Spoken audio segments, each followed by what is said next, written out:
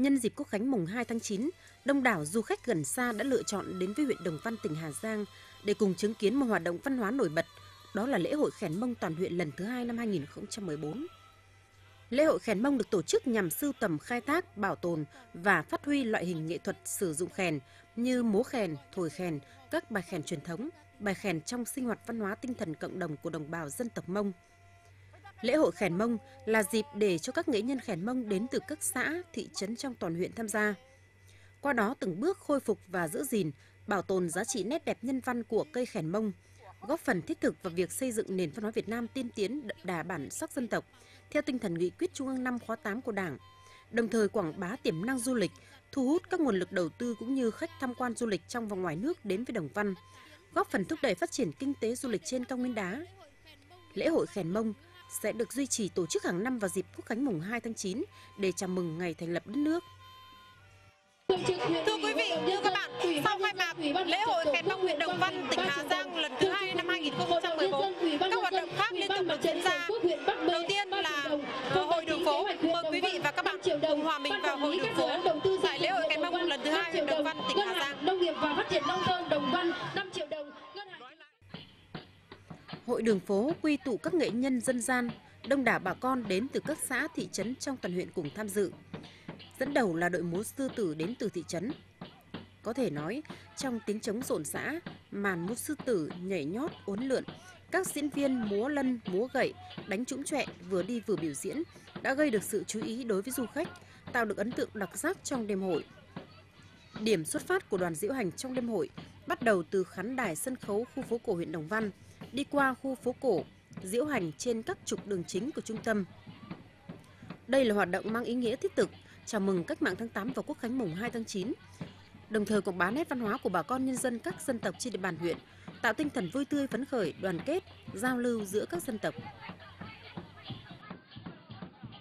Anh có thể cho biết cái cảm nghĩ của mình khi mà tham gia vào cái hội đường phố này không ạ? Tham gia vào đấy uh, đường phố này tôi thấy là uh, có rất là đông à, đông khách à, và để tham gia à, các cái lễ hội từ các huyện bạn, nên là bản thân tôi rất là là phấn khởi. Theo tôi để muốn để phát huy được cái bản sắc của dân tộc đối với lại của dân tộc thì hàng năm thì ủy ban huyện tiếp tục lại có những cái lễ hội này để tiếp diễn ra thường xuyên vào các ngày lễ để duy trì các phong trào văn hóa, văn nghệ cũng như truyền thống của dân tộc Đồng Văn là huyện vùng cao biên giới của tỉnh Hà Giang và là điểm cực bắc của Tổ quốc có đường biên giới giáp với nước Cộng hòa Nhân dân Trung Hoa, dài trên 52,5 km, diện tích tự nhiên là 461 km vuông. Toàn huyện có 17 xã và 2 thị trấn đều thuộc diện đặc biệt khó khăn, được hưởng trợ cấp bởi chương trình 135 và chương trình 30A của chính phủ. Trong đó có 9 xã giáp biên giới, dân số là 14.119 hộ với trên 70.000 người, bao gồm 17 dân tộc cùng sinh sống. Trong đó dân tộc Mông chiếm 88,4%, còn lại là các dân tộc khác như Tày, Giấy, Lô Lô, Pu Péo, Hoa, Hán. Chính sự đa dạng về các dân tộc đã tạo ra những nếp sống văn hóa phong phú, mang đậm dấu ấn bản sắc vốn có của các dân tộc vùng cao, đặc biệt là trong lĩnh vực văn hóa, văn nghệ, thể dục thể thao trên địa bàn huyện. Đêm hội phố cổ là dịp để các nghệ nhân diễn viên, đông đảo bà con và du khách được hòa mình trong lễ hội, không phân biệt đẳng cấp hay tuổi tác, là phút thư giãn tuyệt vời nhất sau những ngày làm việc lao động vất vả trên cao nguyên đá của đồng bào các dân tộc trên địa bàn. À, chị có thể cho biết là cái sự háo hức, cái sự chờ đợi trong gia đình mình trước khi đến với lễ hội đường phố này không ạ? À, tôi cũng rất là háo hức để tham gia với lễ hội này và tôi đã chọn cho mình những bộ trang phục đẹp nhất để tham gia giao lưu với các dân tộc khác để thể hiện rõ cái bản sắc văn hóa dân tộc của mình. Tham gia hội đường phố này có chị hay là cả những người trong gia đình chị ạ? À, tôi có cả tôi và chồng tôi và con nữa. À, thế chị mong muốn điều gì qua cái hội đường phố này ạ? Ừ, tôi mong muốn là sẽ tiếp tục tổ chức những lễ hội như thế này để phát huy được cái bản sắc văn hóa dân tộc của ờ, thưa chị là, suy nghĩ của em khi mà tham gia lễ hội nghệ ờ, Khèn Mông lần thứ hai ở huyện Đồng Văn này. Ờ, và ờ, lễ hội đường phố tại huyện Đồng Văn. Thì em cũng nghĩ là dân tộc Mông cũng muốn quảng bá cái nhạc cụ của mình, cũng như các cái điệu múa khèn của người dân tộc Mông để gìn giữ bản sắc dân tộc không bị mai mục đi. Ờ, để ờ, thu hút khách du lịch ờ, đến từ khắp nơi. Tại đêm hội phố cổ, ngoài các tiết mục múa lân, múa sư tử, còn có các nghệ nhân, diễn viên đến từ các xã thị trấn vừa diễu hành vừa biểu diễn các tiết mục thổi khèn và múa khèn. Đây là dịp để các chàng trai cô gái người Mông có dịp để thể hiện tài nghệ của mình, có dịp được bày tỏ tình cảm thông qua các bài hát giao duyên, điệu múa truyền thống, đồng thời quảng bá nét văn hóa các dân tộc trên địa bàn, gây được ấn tượng đẹp trong lòng du khách. Thưa quý vị, thưa các bạn, à, đến với lễ hội Khèn Mông huyện Đồng Văn lần thứ hai năm 2014, à, ngoài hội đường phố, các làn điệu à, dân ca dân tộc thì còn có hoạt động ẩm thực. Sau đây mời quý vị và các bạn cùng đến với hoạt động ẩm thực qua sự giới thiệu của phóng viên Thùy Dung.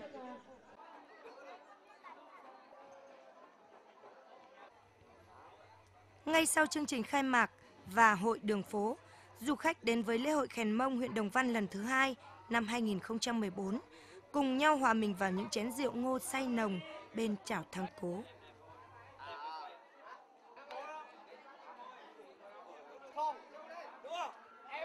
À, kính thưa quý vị và các bạn đến với Khèn Mông à, huyện Đồng Văn lần thứ hai năm 2014 này thì quý vị và các bạn không chỉ được tham gia vào những cái hoạt động văn hóa văn nghệ thể thao dân gian đặc sắc của đồng bào nhân dân các dân tộc nơi đây mà quý vị và các bạn còn được thưởng thức những món ăn ẩm thực mang tính đặc trưng của đồng bào và bây giờ thì xin mời quý vị và các bạn cùng khám phá xem những món ăn ẩm thực đó như thế nào nhé. À, cháu chào cô ạ.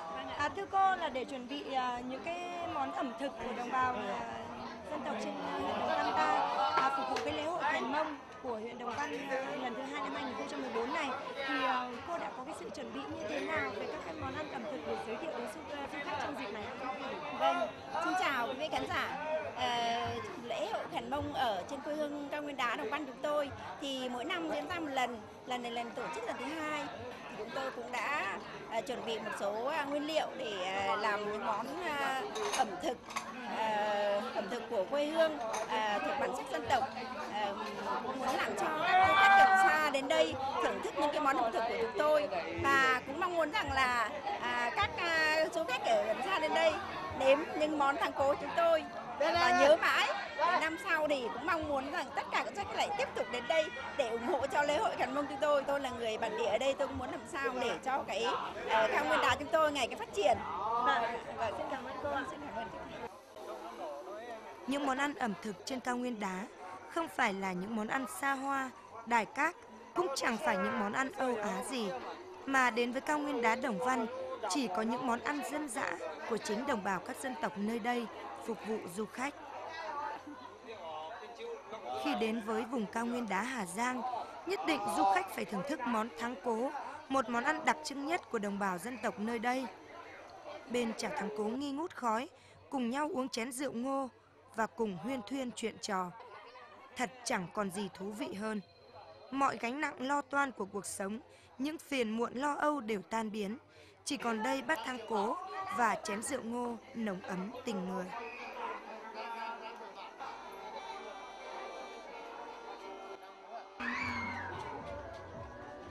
Cháu là chú ạ, em chào các anh. Vâng, Vâng, mời cô à, ngồi dạ vâng. Chú ơi, thế tham cháu... gia một tí. Vâng. Cháu quan sát từ nãy giờ thì cháu thấy mọi người đang ngồi quây quần với nhau đây mà tại sao vẫn chưa nâng ly rượu ạ? Bây giờ còn đang đợi bạn. À thế ạ, chú ơi đây là món thắng cố đấy đúng không ạ? Đây gọi là món thắng cố ngựa, À thắng cố ngựa ạ. rất ngon. Vâng.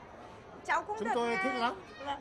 Chúng cháu cũng được nghe nói đến rất nhiều món thắng cố này rồi nhưng mà thực ra thì cháu cũng chưa được ăn thắng cố bao giờ. À, mời cô, mời cô dùng dùng thử luôn. Dạ vâng. Vâng. Một chút nữa khi mà ờ, chú đã có đông đủ bạn bè ở đây thì chắc chắn là cháu cũng muốn thử xem món thắng cố như thế nào. Sắp rồi, chỉ còn ít phút nữa thôi Dạ, là vâng ạ. bạn đến rồi. Tớ là mong muốn là, là người địa phương thì muốn à, khoe các cái à, món à, ẩm thực Vâng. như là tháng cố ngựa, tháng cố bò, tháng cố dê Vâng ạ. của chúng tôi để cho mọi người khách từ à, phương xa đến Vâng. được thưởng thức Vâng ạ, cháu cảm ơn chú. À, anh ơi, từ nãy giờ thì em thấy trước mặt anh luôn luôn có một cái cây kèn. Đây là cây kèn của đồng bào Mông mình đấy nhỉ? Thế Anh ơi thổi kèn có khó không anh? Khó à? À đấy ạ. Anh có thể dạy em một chút được không? Vâng. Thế, thế thổi kèn thì, thì là mình phải thổi như thế nào? À, lấy lấy ngón tay nào bấm ạ đây ạ? À, tức là mình sẽ phải cầm như này. Đây đúng không ạ? Đây đúng không ạ? Và thổi ạ?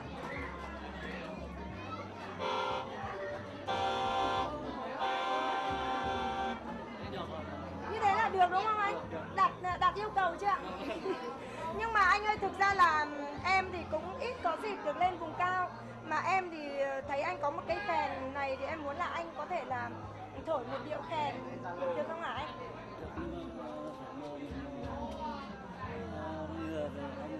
À thế tức là anh muốn mời một người bạn của mình nữa để cùng với anh nhảy điệu kèn này đúng không ạ? Ôi, thế thì hay quá. Em mời anh.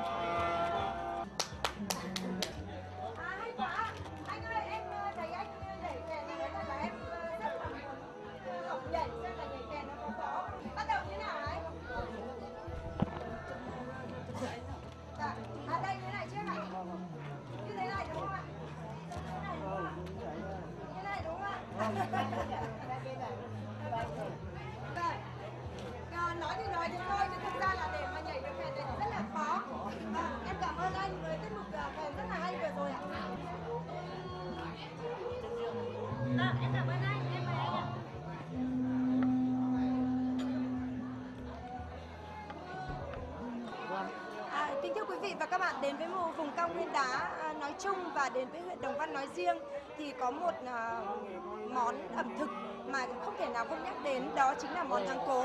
Và để đi kèm với món thắng cố thì không thể nào thiếu được à, những chén rượu ngô. À, Thùy Dung thì không biết uống rượu nhưng mà hôm nay chắc chắn đến với lại lễ hội Khánh Mông năm nay thì Thùy Dung sẽ cũng phải uống để thử và thưởng thức xem là cái hương vị của chén rượu ngô của bà con nơi đây như thế nào. À, xin mời. Cháu mời chú ạ. À, cháu-. Cháu thì không biết uống rượu nhưng mà hôm nay nhất định là cháu sẽ uống với chú với các anh chị một chút rượu ngô để thưởng thức về cái à, hương vị rượu của trên quê hương Đồng Văn mình. Cháu mời chú ạ. Cháu mời cháu cảm ơn chú với điệu kèn vừa rồi rất là hay. Em cảm ơn anh. Em mời anh. Chị ơi, em mời chị. À, cháu mời chú. Uống một nửa ly luôn thì mới ngon. cháu thì cháu không biết uống rượu nên cháu chỉ uống một chút ít thôi ạ. À, thưa quý vị và các bạn, à, với chén rượu ngô, khi đặt à, lên chúng ta ngửi mùi à, hương vị của rượu rất là thơm, rất là ngon. Chỉ tiếc rằng tôi không biết uống rượu cho nên là cái sự thưởng thức rượu của tôi nó có phần hạn chế đi chút nào.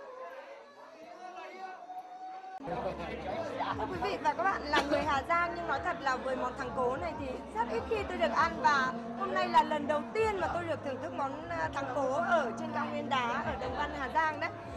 Món này rất là ngon, à, nước rất là ngọt và với cái vị thơm của cường nấu ở thắng cố này thì rất là hấp dẫn.